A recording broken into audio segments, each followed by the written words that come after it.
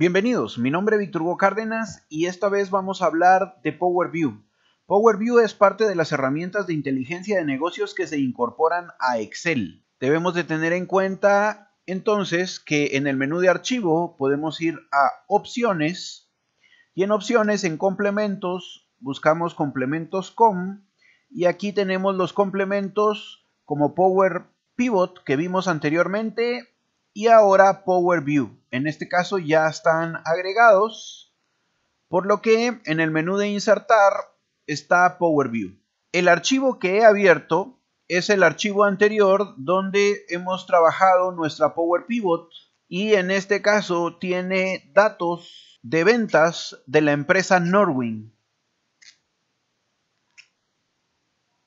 Vamos a ver el diagrama relacional de nuestra base de datos y entonces están cargados ya los datos que ahora vamos a graficar con Power View, porque de eso se trata Power View, es una herramienta más amigable que nos permite crear dashboard o paneles de información de una manera intuitiva y amigable. Así que, como ya están cargados los datos en Power Pivot, vamos a ir a insertar y en insertar vamos a hacer clic en Power View. Tengamos en cuenta que estamos trabajando con Excel 2013.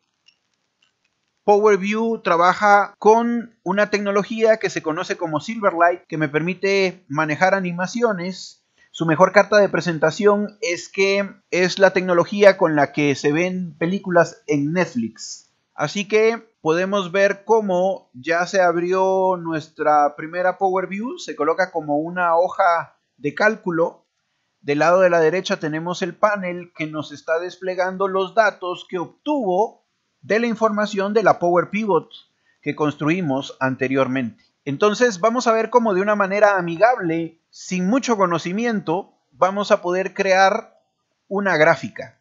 De hecho, por ejemplo, debo de pensar con cierta lógica qué es lo que necesito en este caso para mostrar como mi empresa es una empresa que vende productos, pues necesito exponer las ventas. En este caso, por ejemplo, las podría exponer por categoría. Así que vamos a llevar category name y vamos a ver cómo nuestra sección o segmento se le agregan inmediatamente todas las categorías. Ahora voy a ir a detalle y voy a agregar sales, por ejemplo. Estas son entonces las ventas que ha totalizado de acuerdo a todos los datos que tomó de mi Power Pivot o de mi base de datos. Y lo amigable, lo intuitivo es la posibilidad de convertir esto rápidamente en un gráfico. Ahorita es una tabla, pero sin ningún problema nosotros podemos en el cintillo de diseñar que se ha habilitado con Power View tenemos la opción de tabla, de gráficos, de columnas, y en este caso le podemos decir, mire columna agrupada. Y automáticamente se ha vuelto una gráfica. Una gráfica donde nosotros podemos, por ejemplo, aplicar algún filtro, si quisiéramos aplicar algún filtro, donde nosotros podemos maximizar o contraer la sección o segmento y también podemos ordenar de una manera amigable, ya que pues él cuenta con botones para ordenamiento en la esquina superior izquierda, con botones para filtrar en la esquina superior derecha y me ha agregado a la sección de filtros, pues eso, los filtros que puedo aplicar.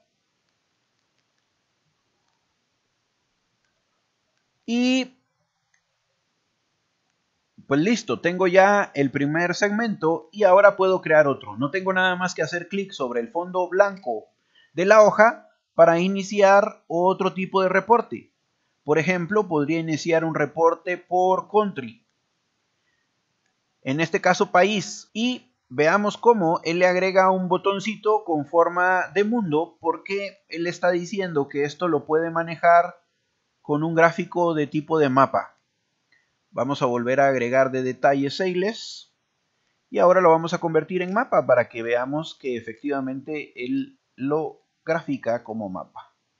Y cada rueda me está mostrando el país donde se originó la venta. Automáticamente él me agrega una sección donde yo puedo agregar otros elementos Como por ejemplo, podría volver a llevar categoría a color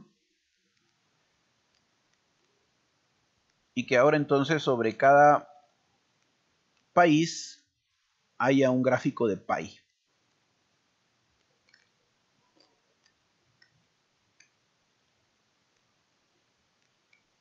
Esto es Power View, una forma rápida, amigable de generar paneles con gráficos para nuestra organización.